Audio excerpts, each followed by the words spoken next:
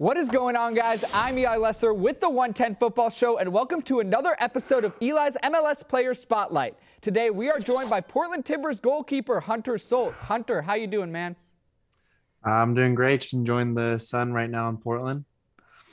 No, absolutely. So, first of all, I got to point this out immediately. When people first see you, they must see your height. You are six foot seven. I got to ask, why are you not in the NBA?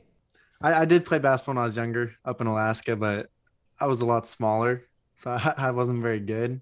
I didn't love basketball that much, but now since I'm older, I'm bigger than most kids, so I can kind of bully some kids in the paint a little bit. I definitely enjoy a lot more, but I wish I had the NBA skill. That would have been really cool. Yeah, no, awesome. So you mentioned that you're from Alaska. Being from Anchorage, Alaska, how did you get into soccer? Um, I've always had a pretty big passion for soccer. I actually I took a little break from when I was younger. Uh, I quit because I don't know if you remember, but the old like shin guards that had like the huge ankle piece on them. Yeah. I'd always like throw a huge fit putting them on, and I was like, you know what, I'm done with this. I'm not going to play soccer for a little bit. So I changed sports, and eventually I was like, you know what, I, I miss soccer. Let's get back into it. And then finally, my mom let me play again. Was there a certain player that you looked up to? Uh, I've always been a huge Neuer fan growing up. Yeah, no, it, it's it's funny you mentioned Neuer because he's obviously great with his feet and being six foot seven, you actually are really really good with your footwork. Uh, do, you, do you, where where did that come from? Uh, it was definitely not like that before I came. Uh, Steve uh, Reese, my academy coach, he was, he was very big on working my feet and using my left foot as much as I can. And it got to the point where I could take my goal kicks left, right foot, it wouldn't really matter. Yeah, and you mentioned the academy. Uh, you you played with the Portland Academy for a number of years before signing with the first team. How did you get to Portland in the first place? Uh, so it was actually from Reese. He was scouting me for a year up until I came, and he eventually made a trip out and did a little camp with ODP, some of the goalies, and it lasted about three days. And by the end of it, he gave me a pair of gloves and told me that he wanted me to join the academy, and I was ecstatic. It was always been a dream to go play for an academy.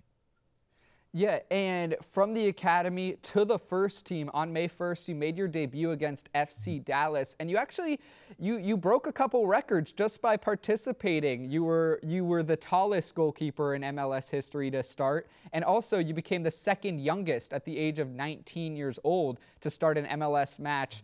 Just uh, what was making your debut like for you?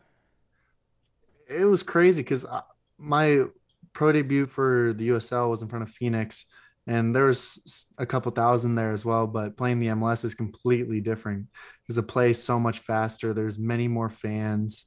Yeah, I, I was ecstatic to go out there and uh, show my skill. Yeah, and you, you got to play two weeks in a row, and that second week uh, you played in the big Cascadia Derby against the Seattle Sounders. Unfortunately, you guys did lose, but what did it mean for you to play in such a big match so early on in your career? Uh, it's always been a big thing because, uh, so I used to be a Sounders fan when I first moved here. A lot of people in Alaska are.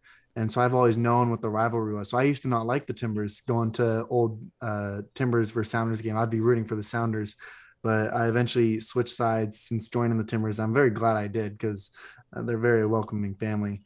But it, it was definitely a lifelong dream to go out and play against our rivals and see those and get, get in those fights with the other players. It, it's pretty fun, honestly, being out there. Was it hard to convert your friends from Sounders to Portland fans, or was it pretty easy for them? Um, it's been pretty easy. They're all like, you know what? I'm gonna have to retire these Sounders jerseys. Since I have a friend who plays for the Timbers, I'm gonna have to start rooting for them. Yeah, tell me why the Timbers are much better than the Sounders, just as an organization, team, everything. Well, it's pretty easy. We have a very good history. We won the MLS Cup first before them. I, I think overall we just have a lot better fans. The atmosphere in our stadium's amazing in our city. It's, it's just a great place to live. Yeah, so lastly, talking about Portland this season, unfortunately, you guys have dealt with some injuries that might have helped you get your debut. Um, but heading into this Wednesday against LAFC, a team that's kind of on the rise again, how do you think those injuries might play into it? It, it definitely made things a lot tougher for us, and our, our results kind of show. But as we have players come back in, our, our team looks really strong, and I'd say argue, arguably we have one of the best teams in the MLS right now. Once we're all recovered.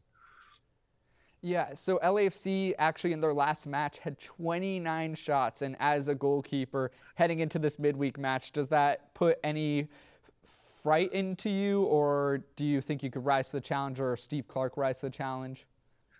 I think all goalies find uh, a lot of shots very exciting, and in like games for me at least, I'll be talking in my head. I'm like, all right, shoot on me. Let's let's see what you got, and and then uh, you just feel just the feeling of making a huge save or multiple saves is just it's just unreal and it gets you it gets you fired up. So a lot of shots is always exciting. Of course we don't want them but they're they're exciting to deal with.